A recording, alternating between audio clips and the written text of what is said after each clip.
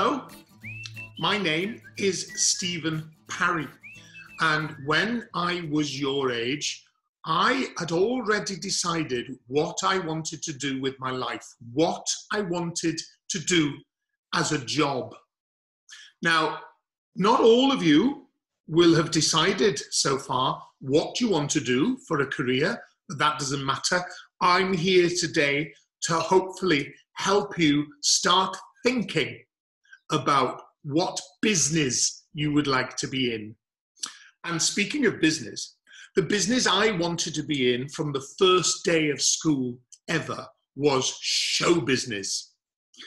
Now, I, on my first day ever, asked the headmistress if I could organize a play and write a play on the first Friday of the first week of school ever in my life. Now, Mrs. Jones, the headmistress, was a little bit shocked, but luckily for me, she said yes. And on the Friday, the first Friday of my school ever, I was starring in my own play that I'd written. I was playing the lead role. I'd given smaller parts to my friends, and those who didn't want to be in the play had to sit and they had to clap. And it all went absolutely brilliantly. Now, after the show was over, the headmistress came to me and said in Welsh, Well done, And I said, Please, miss, can I do another play next Friday? And the following Friday, I played another lead role in a play that I wrote. It wasn't very good, but it didn't matter. At the time, I thought it was absolutely brilliant. My friends played smaller parts, and everybody else clapped. And that's what happened every week of my school time all through school till I was about 11. Then I went to the big school. And when I was in the big school, I was then in every show and every production you could possibly think of. And because of that, that's what I decided that I was going to do for money. That's what I decided I wanted to do as a career. Now, not everyone in your class today wants to be in show business, but you may want to run a shop. You may want to be a hairdresser. You may want to be a ballerina. You may want to be a builder. You may want to be a brain surgeon. You may want to be a teacher. You may want to fill in the holes on the side of the road. Any job is possible. But the biggest tip I can give all of you is choose a job later on in life that you are absolutely going to love. I've loved my job. I've never on a Sunday night, you'll never hear me going, Oh, I've got work tomorrow. Why? Because I'm still doing my hobby. And wouldn't it be brilliant if all you could have your hobbies or your pastimes or your favorite things you like doing as a job. And people would pay you to do that. Ka-ching! That would be absolutely brilliant. And that's what I'm going to do today to help you. Now, have any of you decided yet what you want to be? Some of you have, and some of you haven't. The first tip I would say is don't choose to do a job for the rest of your life that you're never going to be happy in because we all need to be happy. Can you imagine having to get up every morning and go to do a job that you don't like? That's not going to make anybody happy at all. So maybe you could choose a hobby or something you like doing after school or something you like doing in the playground in school. Who knows? Some of you may want to be a footballer, somebody may want to play tennis. You could do this as a job. Now, the first thing I want you to do today is to get into groups of two or three or four, not yet. When I finish and I pause this video, I want you to get into groups with people in your class. There can be two of you, three of you or four of you. Your teacher will help there. And what I want you to do is to make a list on a piece of paper. You will need a piece of paper and a pencil or a pen. And I want you to write down a list of all the things that the whole group like doing, all separately. But if one person likes tennis, write tennis down. If somebody else likes playing post office, like I did when I was a child, I used to be stamping envelopes all day long, write that down. But just make a list of all the hobbies between the whole group. And then when I come back, I'm going to take you all to the next exciting stage. So when I pause this, your teacher is going to take over. You're going to get into groups of two, three, or four people, and you're going to make a list of your hobbies or your favorite pastimes. I will see you in a minute.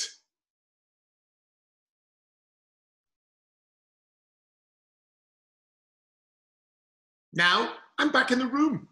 So I hope you now have got a list of all the things your group like doing. And you're probably wondering, what is Stifyn going to be asking us to do next? I am going to ask you to just listen to this story very, very carefully. And then all will become clear. A couple of years ago, I met two young gentlemen who wanted to start a business together. One loved flowers and the other one loved singing. And they wondered how they could make a business together by putting the two ideas together and creating something that would bring them money, bring them happiness, and bring them a career. So they thought very hard, and the person who liked flowers went off to train to be a florist a person who sells flowers and sells flowers for weddings and funerals and parties and gifts. And the other one went off to train to be an opera singer. Then they came back together and they opened a cafe down in Cardiff Bay called Sunflower and I. And it's the most beautiful building. And what it is, is a cafe where you can have a cup of coffee, a piece of cake, a bite to eat, a glass of wine, if you're old enough. But also, you can buy flowers there. You can buy the flowers that are on the table, making the room look absolutely beautiful. So you can see where the florist, where the person who likes the flowers can be working and be happy. But what about the singer? Well, they've got a piano in this cafe. And during the evening, the other gentleman will sing classical opera. And it's a small concert venue. So people go there, they pay, they have a drink of wine or a, a glass of pop, a piece of cake, and he will sing for them. And if he doesn't want to sing that night, he will bring other friends in. And in the evening, therefore, it is a cab, it's a show bar, it's a cabaret bar where you can buy flowers. So you can see you can put two ideas together and make them work as a unique idea because in towns and cities there are hundreds and thousands and millions and trillions of different cafes but whatever business you do, you have to make it unique. You have to make it stand out. Why would people want to come to you? So if I want a cup of coffee, I would go there because the room's beautiful. It smells of flowers. If I need to buy flowers, I can buy flowers and I can have a concert at the same time if I like. So they are absolutely unique. There is no other cafe like that that I have ever, ever seen. So now I'm going to pause this video again for a couple of minutes. You're going to get back into your groups and your teacher will tell you how to do that.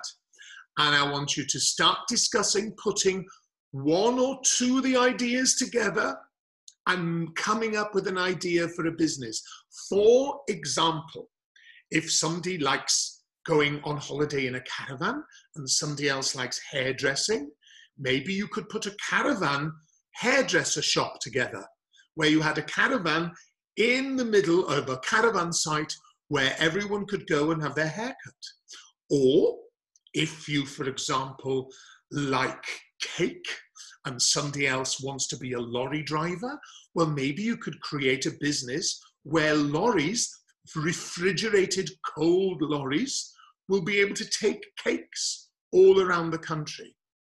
You can do anything here. Nothing is too bonkers. Nothing is too silly. Be as imaginative as you want to be. Imagine, for example, if somebody likes going on holiday and somebody also likes their pets. Well, maybe you could create a, a hotel where you can take your pets. Who knows? This is all up to you. I want you to be as creative as you possibly can and think of putting ideas together that are going to make you happy forever. I'm going to pause now and I will be back with you in a minute.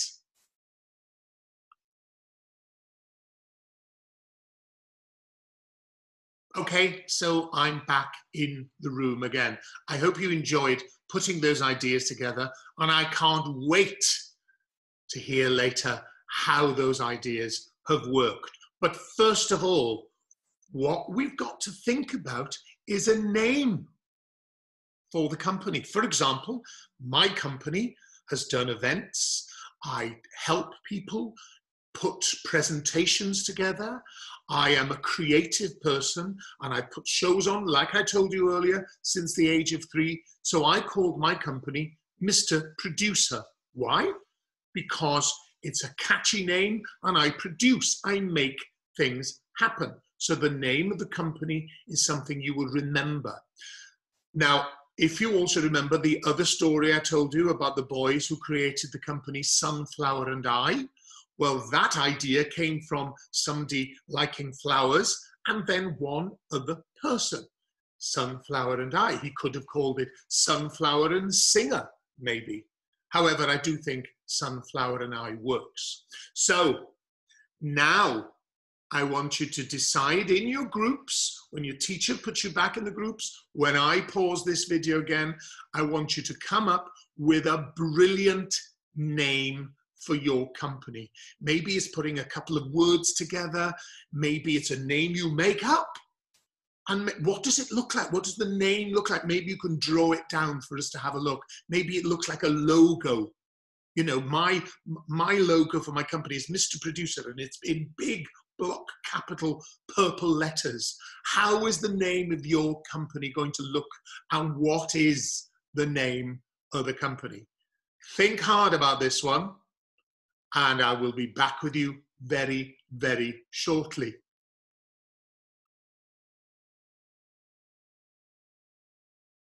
So now I hope that you've got a really good name for your business, a name that everyone will remember. But now, as a group, I want you to think who's going to be doing what jobs in their company. For example, I, when I was at school, when I was your age, was never very good at maths. So in my company, Mr. Producer, I don't have anything to do with the accounts because I'm not very good at it. I found a job that I'm good at. I think of ideas and I make things happen. So I'm the producer and I am the front man because it doesn't bother me about talking in front of people. I quite enjoy it. So now, within your group and within your business, I want you to decide who's going to do what job. So if someone's very good at maths, maybe they want to look after the accounts. If somebody's very chatty, maybe they want to be the front person on the desk. Maybe you've got a reception area. I don't know what your ideas are. Somebody may be funny. And if you're funny, maybe you'll know how to help sell your product or your business. Just think what other things you're good at in school that'll help you define what job you're going to have within, in which department you are going to work within your business. Work that out with yourselves now. Your teacher will put you back in your groups, and I will see you in a couple of minutes.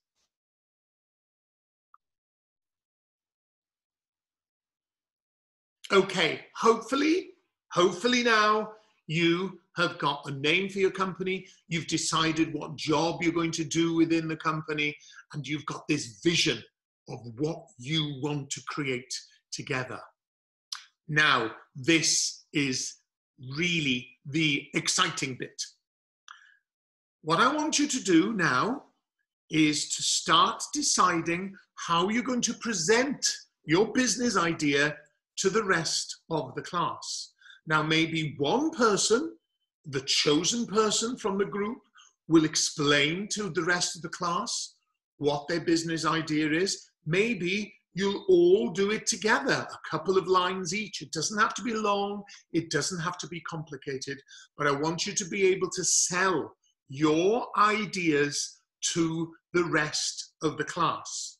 So get back in your groups, your teacher will help you with that, and decide who is going or who are going to be the speakers and how you're going to tell the rest of the class what your business idea is and then have a rehearsal and then I'll be back with you to say goodbye and hopefully by then you will be a fantastic success. See you in a mo.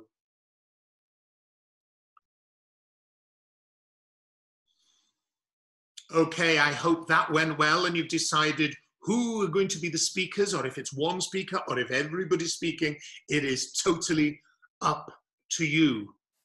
Now, the next and final task is that you are going to each, at a time, in a group, stand up and present your business idea to the rest of the class. There are a few rules here. Whoever is presenting, everybody else who's listening has to listen and I want them to applaud and give them a round of applause at the end. I don't want the other groups talking and talking about their idea and getting ready for when they do it. I want everyone to listen to everybody's idea and be fair. I want everyone to be listening as much as you'd like your idea be listened to. Does that make sense? Now, good luck, everyone. Take a deep breath. It is going to be brilliant. I bet all your ideas are fantastic. And what you've got to remember is whatever ideas you come up with now, they really could be what you want to be when you're older. You could decide today what you want to be when you're my age or even a little bit younger. I decided at the age of three, and I've got a nice house, a nice car, and a lovely life doing my hobby, and I'm really happy. And I hope you can do exactly the same as that in the line of work you want to follow. Remember, there is only one person stopping you from doing anything in the world, and that's yourself. So that means you can do whatever you want. The only thing I would say before I say goodbye is make sure that you are always the best version of yourself. Be the best version of you.